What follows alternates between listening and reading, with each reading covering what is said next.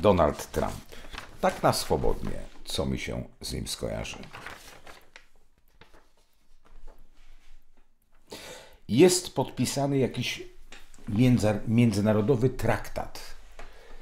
On chce ten traktat y, kompletnie zniwelować, kompletnie zerwać. Mm. Ten traktat jest między pewnymi państwami y, i on jest wrogi ludziom. On uważa, że w tej chwili, od jakiegoś czasu, Ameryką rządzi grupa ludzi. Jakakolwiek frakcja polityczna i jej prezydent e, to jest coś podrzędnego. Jest jakaś frakcja ludzi, która coś realizuje ponad e, e, kongresem, ponad prezydentem.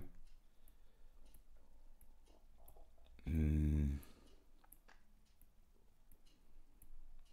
I ta grupa kojarzy mi się taka wyjęta jak gdyby spod prawa. To nie przestępcza, tylko wyjęta spod prawa. Mm, jak gdyby o innych przywilejach. On chce to zerwać. Ja mam takie poczucie, że Trump się czuje osaczony. Jest próba e, od grupy politycznej, która popiera Trumpa, z której właściwie Trump się wywodzi, jest, są próby y, tam za, zrobienia zamieszania, że, i mam wrażenie, że on jest rozdarty wewnętrznie, że on, że on wewnętrznie absolutnie nie jest pewny, że on sobie zdaje sprawę z siły, jaka ta grupa ma, ta grupa, która jest nad Ameryką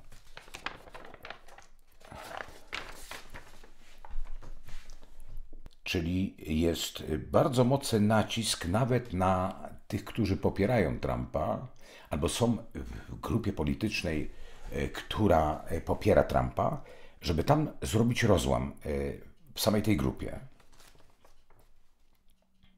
Heh. Dziwna rzecz. Ja mam takie wrażenie, że e,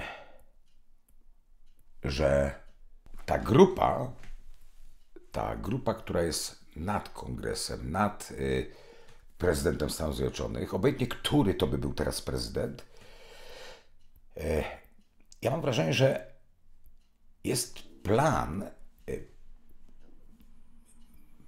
stworzenia w Ameryce super państw. To nadal będzie Ameryka, tylko y, to tak jakby to było rozebranie tej Ameryki, która teraz jest i stworzenie z niej kilka super państw. Kom kompletnie tego nie rozumiem, ale tak to czuję. Hmm. Bo coś takiego e,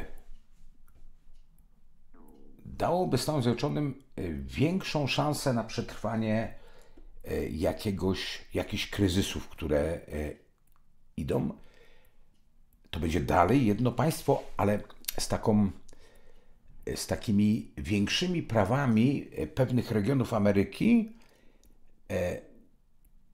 każde z nich na pewną, na, na nazywanie superpaństwem, czyli, czyli powiedzmy Ameryka jako całość, ale tam są stany, które które będą miały kompletnie swój budżet, swoje, powiedzmy, swoje no, super państwa mają tam powstać. Czyli jest to zgubne to, co się teraz dzieje, jest zgubne dla Europy. E, Europa bardzo ucierpi przez to, co ma się stać. I nie chodzi tu o Stany Zjednoczone, tylko to, co się dzieje wokół nas teraz. On uważa, że Europa bardzo ucierpi.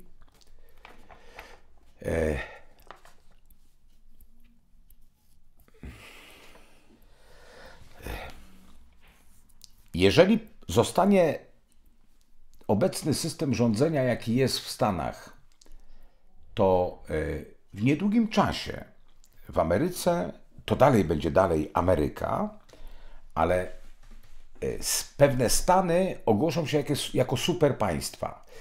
E, mówię, nie jestem w stanie tego dokładnie zrozumieć, sensu tego.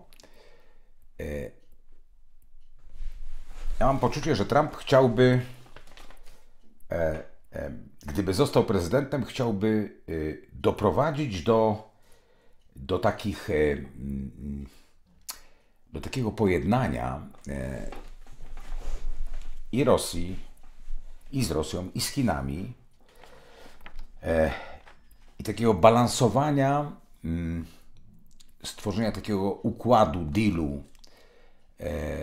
Nieważne ile ten deal miałby trwać, ale do takiego poukładania, że każdy będzie mógł robić swój interes z dużych, którzy e, tworzą problemy e, i każdemu ma się to w jakiś sposób opłacać. E, ja mam wrażenie, że to jest naiwne myślenie Trumpa. Że on wejdzie przebojem, złapie zaufanie, no bo system go nie lubi i przez to złapie zaufanie, ale uważam, że to są czcze e, marzenia Trumpa i e, a wewnętrznie Trump mi się kojarzy taki zaszczuty, nieufny, coraz bliższemu gronowi swojemu nie ufa. E, więc jaka, czy prezydentura go czeka?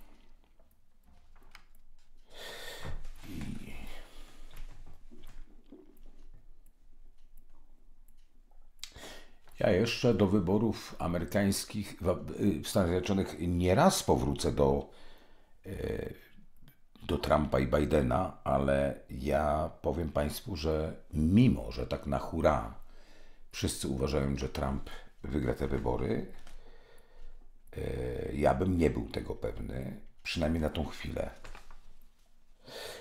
W jego, w samym ugrupowaniu, które czy ugrupowaniach, które go popierają, e, będzie się działo coś wewnętrznie. E,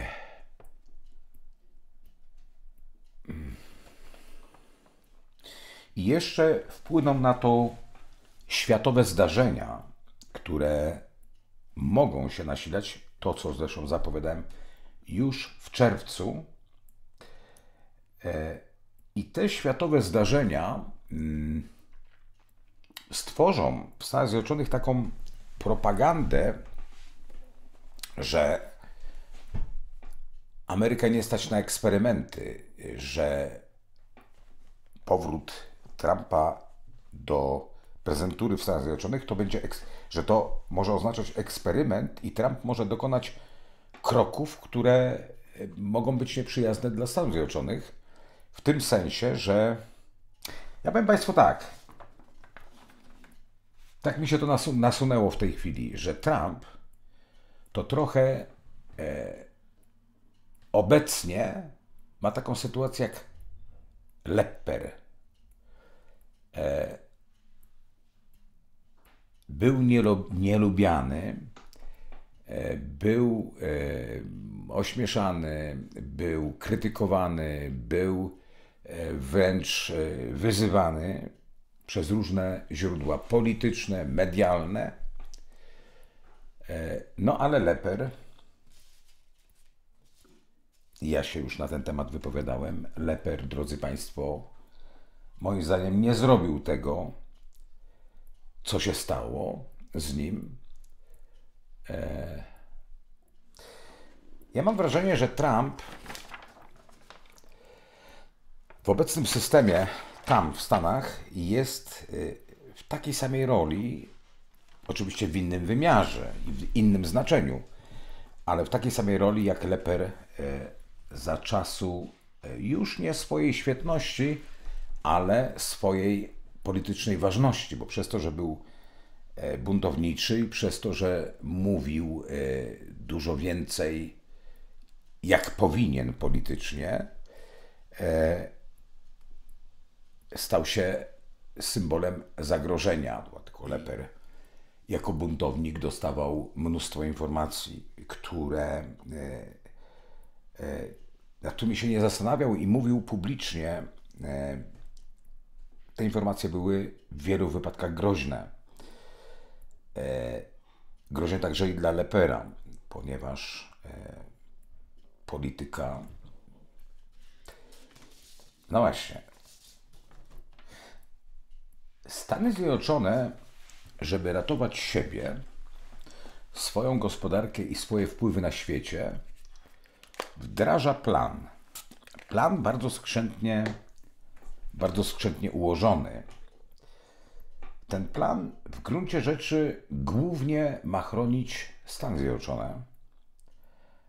E, I on będzie, jeżeli będzie wdrożony, a jest wdrażany, to on będzie chronił Stany Zjednoczone i interesy Stanów Zjednoczonych. Mm. Ucierpi na tym Europa, ucierpi, ucierpi na tym Bliski Wschód E, jeżeli, jeżeli plan zostanie wdrożony przed wyborami w Stanach Zjednoczonych, czyli za czasów Bidena, e, to nawet gdyby Trump te wybory wygrał, ciężko będzie wymazać to, co się będzie działo jeszcze przed wyborami, właśnie jeżeli chodzi o Europę, i ciężko będzie to zahamować. A dlaczego Trump mi się skojarzył z Leperem?